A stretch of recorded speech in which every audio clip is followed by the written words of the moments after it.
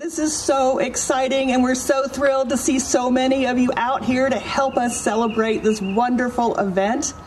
Aren't the buses beautiful?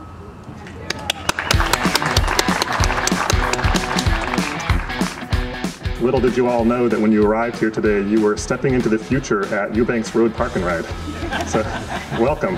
It's a great day uh, to add uh, new Carolina Blue buses to our fleet, uh, and any day uh, that we can do that uh, is a great day.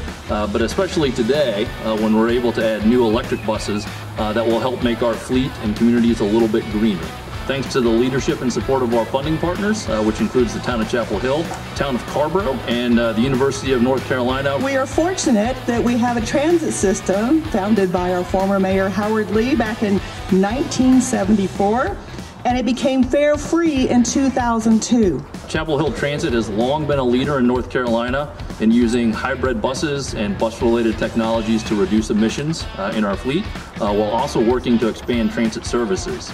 We had a seriously aging fleet of buses. With the help of the staff and community advocates and the partners, we put together a bus replacement program that is going to be sustainable for the long term. About half our community students rely on local or regional transit to get to and from campus. And we could only do that because we have this strong, strong transit system. In addition, 20% of our employees of both the university and the UNC Healthcare rely on Chapel Hill Transit to get to work. When the students and staff now step on these emission-free buses, we're all helping to realize a more sustainable North Carolina. We have a drive to make a positive impact at UNC.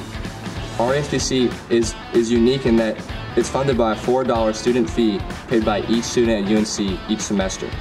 With these three buses, we have more electric buses on the road than any other transit provider in the Triangle. Three today, seven to come, with these sleek, efficient, no-nonsense electric buses. Chapel Hill is the second largest um, bus uh, system in the state. I assure you we're not the second largest uh, community of the state. We are punching above our weight in more ways than one. Your electric bus pilot program here in Chapel Hill and your actions to make your bus fleet greener are a powerful example for the rest of the communities around our state.